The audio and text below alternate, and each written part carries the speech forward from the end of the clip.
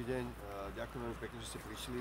Vítam vás na stavbe predĺženia električkovej trate do Petržalky, Petržalke. E, Petržalka nie je, táto trať nie je len o električke, o 4 km električky, tak dôležitý pre lepšie dopravné napojenie Petržalky s mestom.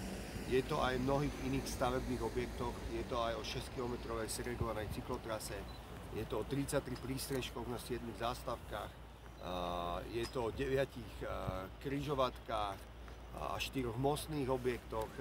Je to jedna z najväčších našich stavieb a jedna z najväčších stavieb, ktoré sa v tomto období dejú práve v našom meste. My sme odozdali zhotoviteľovi stavbu v novembri 2021, 18. novembra 2021 a odtedy sa stali mnohé veci, ktoré nikto nepredpokladal. Niekoľko mesiacov potom vypukla vojna na Ukrajine a s ňou spojená kríza s cenou stavebných materiálov a takisto samozrejme kríza cien energií. Stavba bola zastavená kvôli enormnému zvýšeniu ceny ocele, ktorá vznikla kvôli ukrajinskej kríze a platila v podstate pre celý svet alebo pre celú Európu.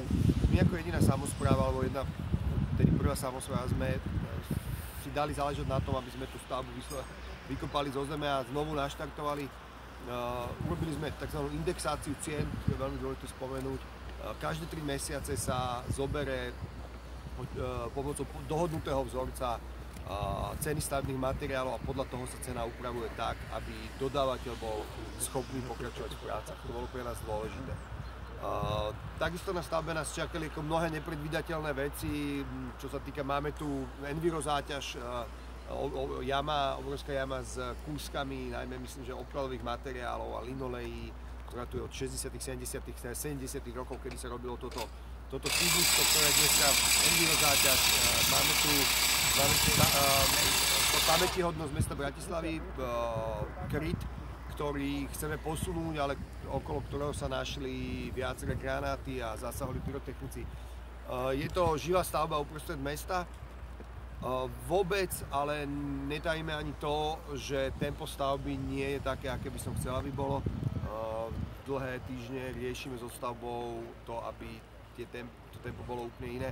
Moje úsilie, niekoľko týždňové úsilie vrcholí práve tento týždeň. Dneska sa stretávam s veľvyslancom Čínskej ľudovej republiky. Práve Čína je väčšinový majiteľ španielskej firmy, ktorá je aj konečný užívateľ výhod.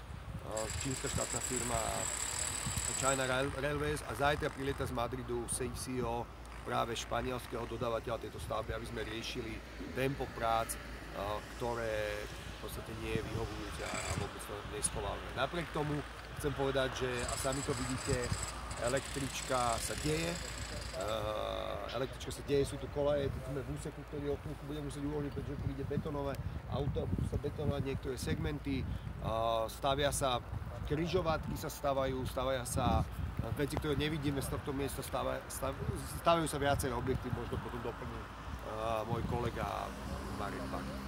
Za mňa asi na úvod všetko. Ďakujem veľmi pekne, nech sa páči.